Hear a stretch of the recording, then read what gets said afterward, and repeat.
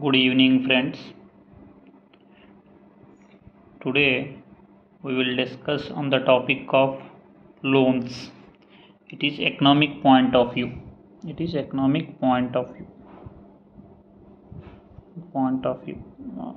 Not the commercial bank uh, loans like personal loan, housing loan, not like that. What is loan?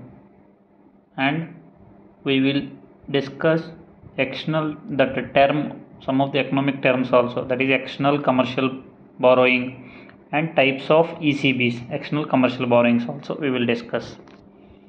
ECB and types of ECB external commercial borrowings how it helps to loan okay. First we will discuss what is loan. The borrowing by a country both government and private sector from the international market. From the international market. Borrowing. Actual loan means borrowing. International market. They are debt creating capital transaction. Means loan is a debt creating capital transaction. Here ecb external one more economic term that is external ecb external commercial borrowings. What is this external commercial borrowing? External means outside commercial. It is commercial point of view. Borrowing means taking loan. These are the commercial loans rise from the international market. Rise from the international market. They rise at market rate without any concession without any concession. All entities receive fdi foreign direct investment.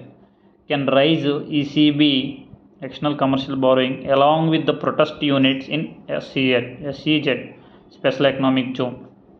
Now it was failed. Earlier government has launched the scheme. Special economic zone what will happen? They in the special economic zone whatever the companies are there they are getting very low tax for going to out imports as well as very less documentary work for exporting the item. As well as while importing also some of the government taxes they will not get.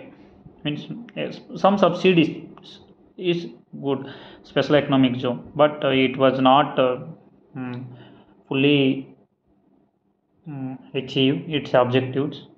Okay that ecb external coming to the this point external commercial borrowings have general maturity period is 3 years. Its general maturity period is 3 years. Exceptions are allowed. External commercial bank borrowings can be borrowed in any freely convertible currency. These are the points related to ecb external commercial banks. Now coming to the type of ecb external commercial borrowing. It's a capital market instrument. Capital market instrument fccb foreign currency convertible bond borrowing. Foreign currency convertible borrowing in india are included in fdi only when it converted into equity. Otherwise fccb is treated as ecb external commercial borrowing. Loans including bank loans floating or fixed rate bonds debentures other than fully convertible instruments. These all are come under ecb external commercial borrowing. This is the topic related to loans. Thank you